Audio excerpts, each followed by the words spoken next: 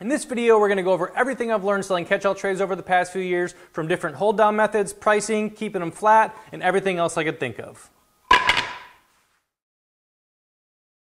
So when making catch-all trays, what kind of wood should you use? And in my opinion, you should use a nice hardwood. My most common woods I use are just domestic hardwoods, and for me that is just walnut, cherry, and maple. Them are a majority of the woods I use because they're easy to get locally and they're nice, hard, stable woods.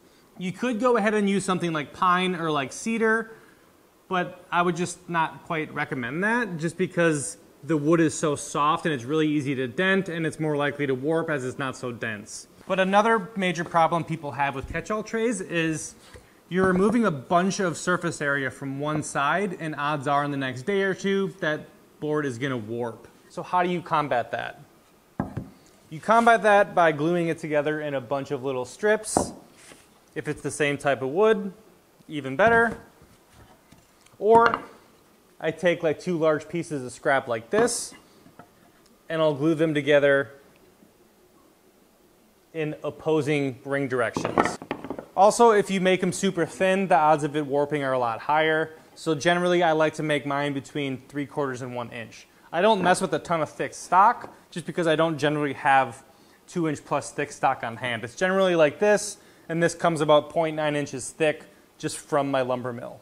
I would also this is my opinion, I generally avoid very dense exotic woods. I, I avoid bloodwood, purple heart, and wenge. All that stuff's great, but it's super expensive and super dense and very rough on your machine and your bits. It does work fine in this beautiful wood. It's just not something I really mess with. Um, they do look good in cutting boards and all that, but again, it's just not for me. So I'm not going to go too deep into milling. Hopefully you guys understand like the basics of milling and getting your lumber flat. Um, if not, I'm sure there's a bunch of different videos out there. So I cut them into a bunch of two inch strips and now I'm gonna plane them down and get them nice and even for a glue up. And as I said earlier, I don't have a bunch of thick wood. So this is one way to achieve thicker wood. You just cut them into as thick a pieces as you want. And being a bunch of individual pieces like this, it'll be pretty stable and not very likely to warp, which is why people make thicker cutting boards in edge grain orientation. And here's that wider chunk of wood from before, and it's just best practice to cut it into two to three chunks. If it's over eight inches, it's just better in multiple pieces. It's gonna be more stable, less likely to warp, and once it's oiled and sanded, you're really never gonna know. Just make sure you glue it together in the alternating grain, otherwise it just defeats the purpose. Then here's another example, just be cautious of the grain orientation. I typically use Titebond 2 and 3. I leave them in the clamp for about an hour, and then I glue up the next batch. So we just glued together a bunch of scraps. Now we're going to trim off the excess, run them through the planer to get them all nice and even. So now we have a bunch of material. How do we hold it down and what are the best ways that I've found? So the methods I use the most for stuff like this is double-sided tape. I prefer masking tape and CA glue over double-sided tape. It's just a little cheaper to run it this way and it's not as thick and it doesn't gum up your bits as bad from my experience. But double-sided tape is just fine. And the next would be screws. I just drill a hole in each corner so it doesn't split the board. And then I just put these directly in each corner, holding it down to the workpiece. And most of the time, two screws are plenty. The only downside is, is it leaves these little mounds when you take the screw out of the MDF. But a little tiny scraper of any sort takes them right off super fast and easy. So if I was gonna batch out a ton of these and they were all relatively the same size, what I would do is create some sort of fence system so you don't got to worry about any kind of consumables like this. So this is how I do all my cutting boards. I put it in the corner. I have a T-track here, and then I just simply tighten this down, and that holds it in just fine with the pressure. That's how I do all my inlay cutting boards. So if I was going to specifically do these, I would just make a more condensed version of this. So if you're looking for production and crank out a bunch of these, it's not that cost effective or time effective to have a bunch of small little trays. So what I would do in that situation where I'm trying to make a bunch of the same item essentially is I would just glue up a big panel and put a screw in each corner and then just run tabs. So that the advantage of something like this for one-offs is you don't got to run tabs at all just because that double-sided tape will just hold that in place. So for this situation, I'm simply just going to use the poor man's double-sided tape as I call it, and then we're just going to run these trays. So when I'm setting my zero for stuff like this, I like to always set my zero from the center. I don't use a probe or anything, that's just my personal preference. So I just take a straight edge like this, and there's my center. So I like to set my X and Y to the center of the board, and then for stuff like this, where I'm cutting out a bunch of pieces, I'll set my zero, my Z0 from the wasteboard and not the top of the piece. Because then if all these thicknesses are off a tiny little bit, it's not really gonna matter and it'll cut down to the same depth every time. And one of the major points to the double-sided tape is you need to make sure your piece is flat. If it's warped and wobbling, the double-sided tape's just not gonna stick. You don't need activator or anything. If people that tell you you do, don't know. You can use it, but this hardens up like instantly. Little bead. I like to slide it around just to spread that glue out a little bit. And just like that, it's stuck down and ready to go. Another thing to be aware of when you're making trays like this is the grain direction. So if you're going to do a long tray, you want the grain direction to go with the longest direction of the board. So we're going to get started on this basic round tray. This is a 3 quarter inch bowl bit. So our bowl's cut out and you can see we have all these little rings. These are just like step over lines. The average step over is 40%. That's typically what's stock in your software. And you can lower that to make these rings a lot closer, leaving almost a flawless finish. This works with bowl bits and other 3 quarter straight bits, anything you're looking for a cleaner finish.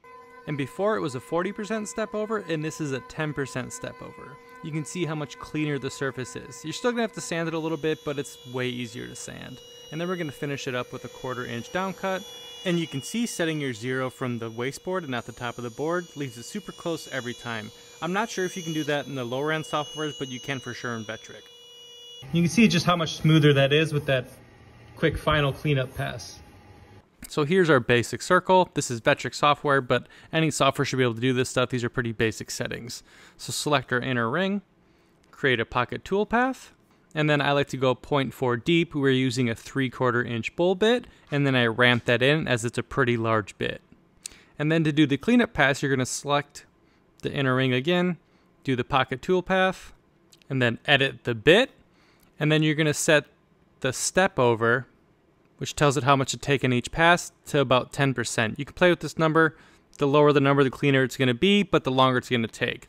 And then since we're only taking a tiny amount of material, you can go pretty fast here. And then you're going to set your start depth to 0.4. So it already accounts for all the material that's already been removed. And then I do a cut depth of 0.02 or whatever tiny amount you choose with the same exact bowl bit. And then I play with this pocket allowance to ensure that it stays inside this line. I don't know if it's because of the step over or what, but if you don't adjust it, it cuts past this line. And then these are the same exact bit, so you can just group these and they'll run consecutively. So let's preview.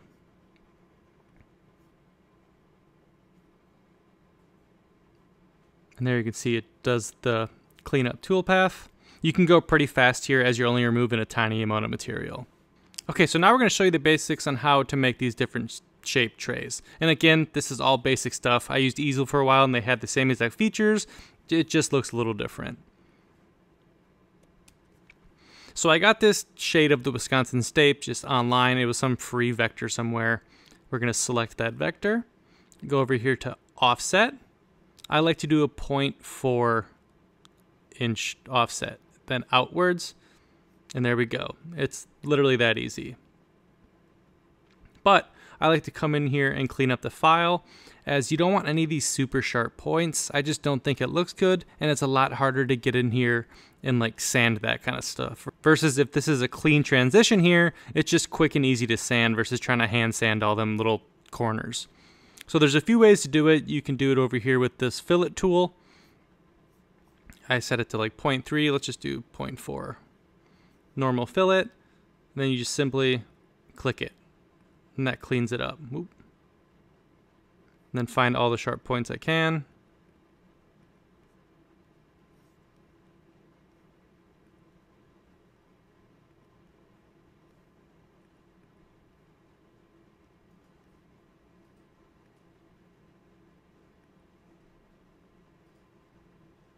And there we go. A nice clean outer line and it's ready to carve. Pocket toolpath, cut outside line toolpath with like a quarter inch down cut.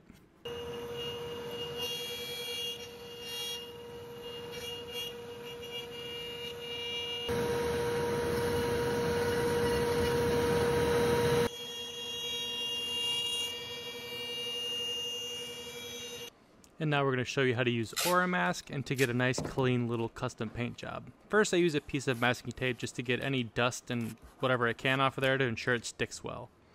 And then I just use a little piece of it. I'll link to this in the description. It's just like a painting mask. And then use some sort of scraper to flatten it out and get it to adhere pretty well. And this is a 90 degree V-bit. I'm not a huge fan of using 60 degree or less as they just take forever.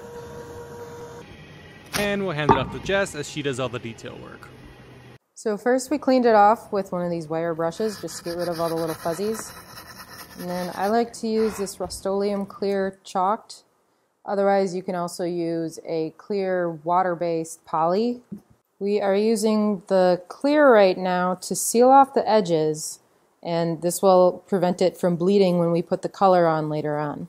Another way you can do this is if the base is painted of what you're doing, say this board is white, I can paint this white and that will seal the edges off with the color of the board so it won't matter then what I paint over the top and it won't bleed. So another way that you can add color aside from painting it on by hand is to spray paint it. You're going to have to mask off the entire area so you don't get any overspray on your piece, but make sure you still do clear. You can do a clear coat like this, poly, or with spray paint. Um, but you're going to have to be really fast because the spray paint melts the Oramask. So you're going to need to spray it with clear, let it dry for a second, and then spray it with whatever color you're using.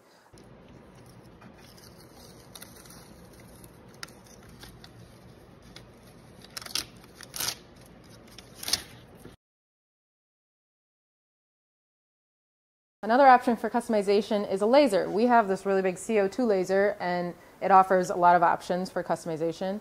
Or a lot of CNCs offer diode lasers that you can attach to where your spindle would be. So the advantages for using a laser is that you can get a lot more detail into your design. But this is going to take a lot more time versus engraving on a CNC, they're pretty quick. You can do relatively big designs in under 30 minutes. We're going to laser a sunflower onto this tray. It's going to be roughly the size of the tray, but it's still going to take 30 minutes just to laser it. And this is a 3 quarter inch straight bit. It does a great job at removing material and leaving a pretty clean bottom. And I didn't center my piece in the software. We'll show you how to fix that. So when stuff like this happens, I typically try to save it. So we'll just use a piece of this offcut here to try to match this up the best we can so it's not a complete waste. And then instead of this whole piece just going to waste, I'll just glue this on the end. It's a lot cleaner and less visible if it's on the edge versus the end, but at least it won't be a complete loss. I'll just sell it for a little less. Once you sand it and finish, it'll hardly be noticeable. And you can see it on the right edge. It is a little noticeable, but the average person will probably never even notice. Again, I would sell it at a discount. And ideally, you add clear coat before you add the epoxy so it doesn't bleed, but usually it sands out. And then a simple way to make stuff stand out versus others is just adding a simple texture. There's a texture toolpath section in Vectric, and you can do a ton of different patterns and shapes with this kind of stuff, but it just makes a basic tray look a lot cooler.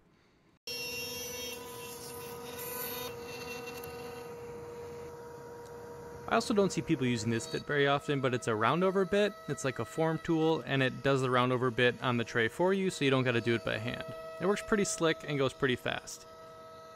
I just ran it with the stock recommended settings and I got a little bit of tear out, so I'll just have to slow it down and kind of use it a little more to get used to it.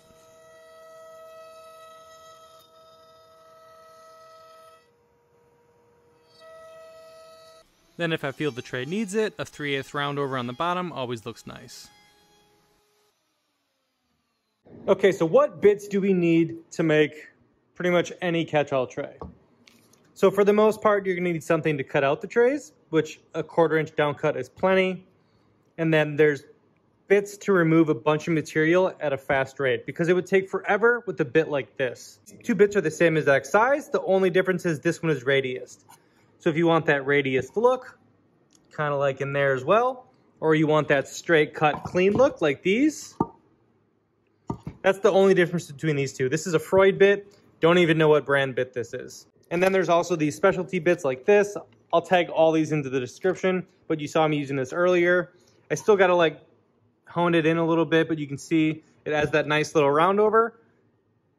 And then there's so many companies out there that make great bits. I mostly use Whiteside and Amana, but there are tons of companies out there that are making awesome bits. As long as you're not buying the cheapest bits possible, you will be okay. Another major difference between these two is the finish quality. You can see, I mean, I did the surfacing pass to clean all this up, but with this bit, you don't have to do that small step over pass. Like, look how clean these are. And I didn't even sand them or anything. Versus this, even with the cleanup pass, you can still see a little bit of lines, which will sand out easy. But again, it's just more work to get this to cut smooth than it is something like this up or straight cut bit. All right, sanding, everyone's favorite task. What is the quickest way to sand these and how do I go about it? So first off, we'll talk about pricing and all that in a little bit, but the way I view these catch-all trays is these are just a quick bang out item. You're gonna get 30 to $100 probably on average for these types of catch-all trays. So you just can't spend a ton of time sanding this. If you're spending an hour sanding each catch-all tray, you lost money. So you need to sand it as fast as you can and as well as you can. And then I start with 150 and I go up to 220. That is plenty. And then for the instruments I like to use, I like this oscillating sander with this triangle head. It doesn't have to be this. I just like this small triangle head. Just gets in all these little nooks and crannies really well. And then I like to make the trays larger so that I can just use a standard 5 inch orbital. So I can get as much as I can with this and then just clean up with this. Someone also recommended this uh, drill attachment. It's like a little puck that holds sandpaper on it. They said the attachment's great, but the sandpaper sucks. So you can just use these little rings as a template to cut your own. Same with this. The stock sandpaper is just not good, so just use your older pieces and just cut a little, you know, triangle out of that.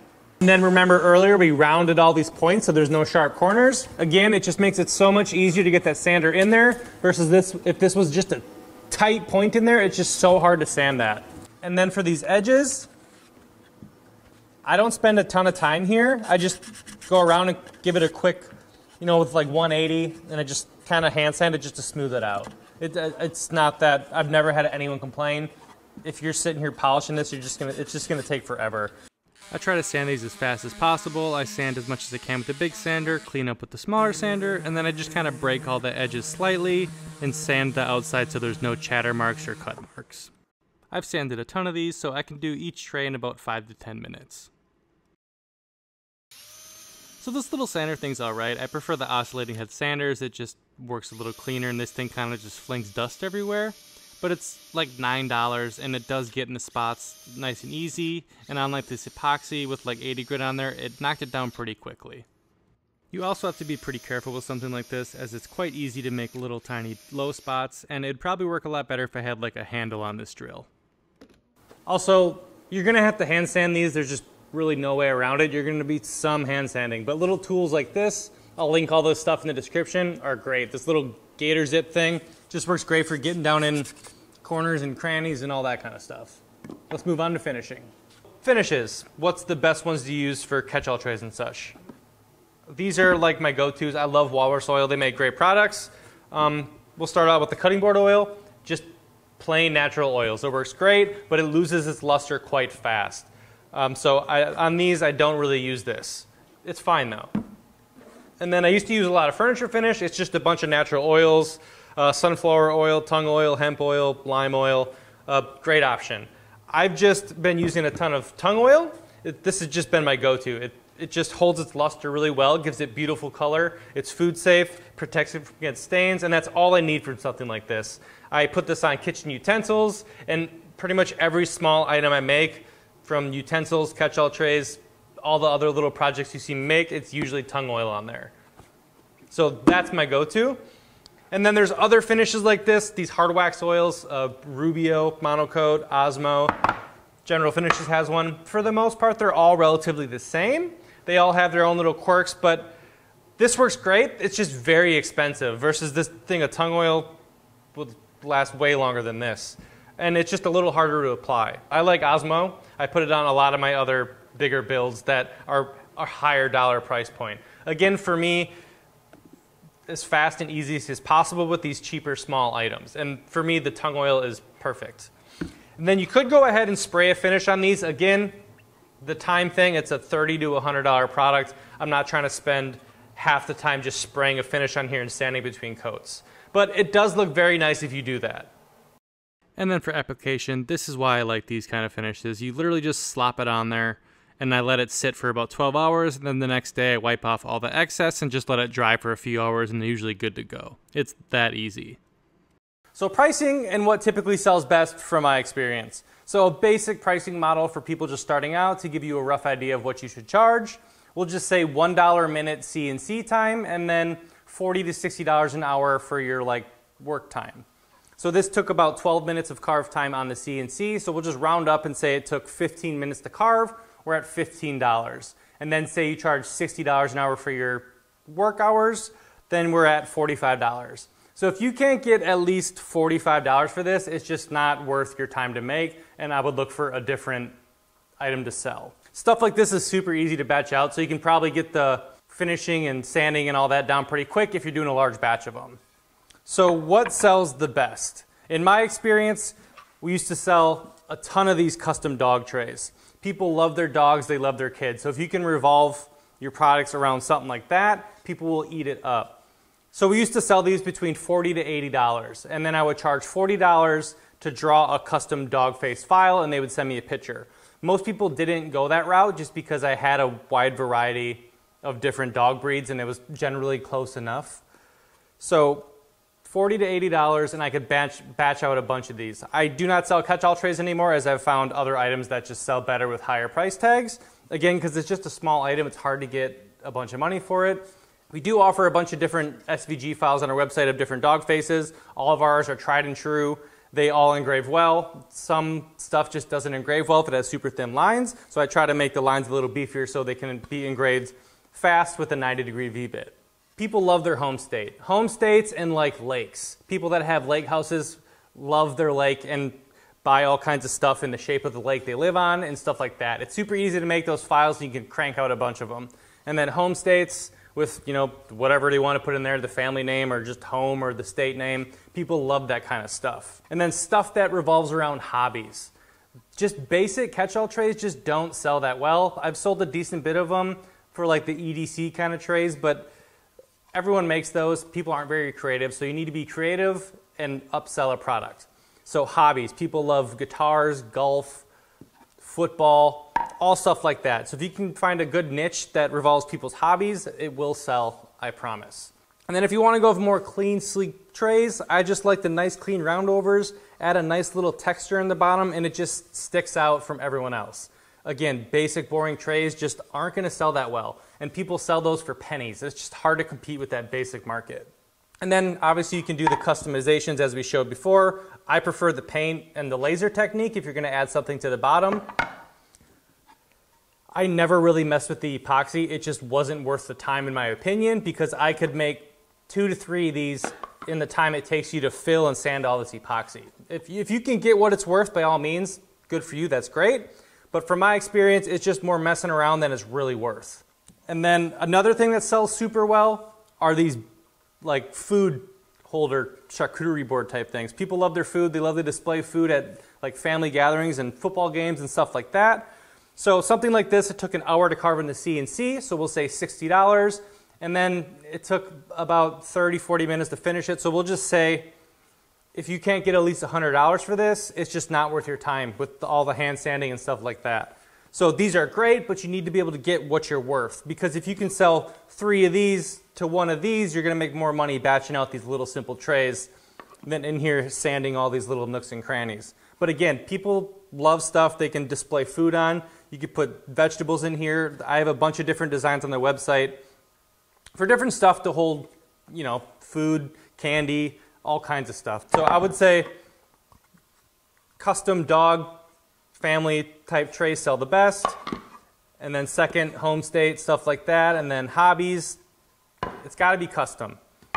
And then these is just, the issue with these is getting what they're worth. You have to be able to sell them at a higher price point, and some people struggle with that. I could go on and on about pricing. I, maybe we'll do a Patreon video on that, but This is the end of the video. I hope you guys learned something. It's geared a little bit more towards the beginner, but catch-all trays are a great thing to make and sell. They don't require much wood, and once you have the design made, you can really batch these things out. We do have a Patreon live now. You can join our Patreon. We're going to start doing live streams over there and just talk about whatever you guys want. And we're also going to offer a bunch of steep discounts on all of our different files that we offer. So check that out. We appreciate it. If you just want to support us, subscribe to the channel, buy our files, join Patreon, anything like that helps out a ton. Even just leaving a comment, we appreciate all of you. So hope you all have a wonderful day.